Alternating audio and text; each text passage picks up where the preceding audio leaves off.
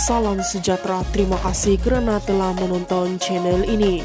Kita kembali lagi di channel ini menyampaikan berita-berita hangat, gosip panas mengenai artis dalam dan luar negara.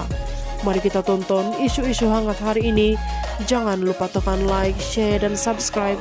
Dan jangan lupa juga tekan tombol lonceng agar Anda tidak ketinggalan dengan berita-berita hangat yang selanjutnya dalam channel ini. Salam sejahtera kita bertemu lagi di channel ini dengan satu lagi kenyataan di mana pasangan batal niat bercerai gara-gara sehelai kertas.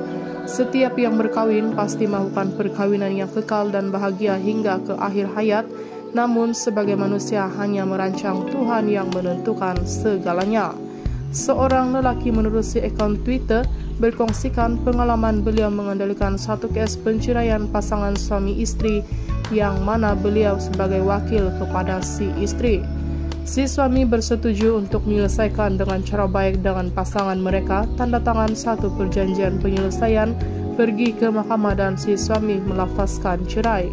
Semasa dalam perbincangan pembagian harta sepencarian yang mana kesemuanya ia, ialah Sebelas harta salah satu berbentuk sebuah kondominium secara tiba-tiba berlakulah sesi throwback yang dimulakan si suami yang menyuruh istrinya mengambil kondominium tersebut karena ianya adalah harta pertama mereka. Si istri membalas kondominium itu dibeli karena si suami amat menyukai dapur di sana. Kemudiannya sesi throwback diteruskan dengan kisah kesusahan yang mereka bersama-sama hadapi semasa di awal perkawinan. Beliau yang berada di posisi tengah antara pasangan tersebut sudah mulai terasa canggung tanpa diduga si istri telah meminta beliau masa untuk memikirkan kembali perancangan untuk bercerai. Alhamdulillah jika Tuhan sudah kata jodoh sepasang pasangan itu panjang, maka panjanglah ia dan ajarnya kuasa Tuhan hanya dengan sekeping kertas perancangan pasangan hambanya untuk bercerai itu boleh diselamatkan.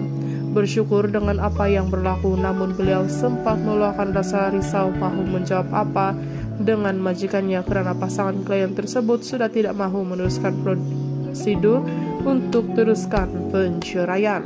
Itu sejarahku hari ini. Sekian dan terima kasih.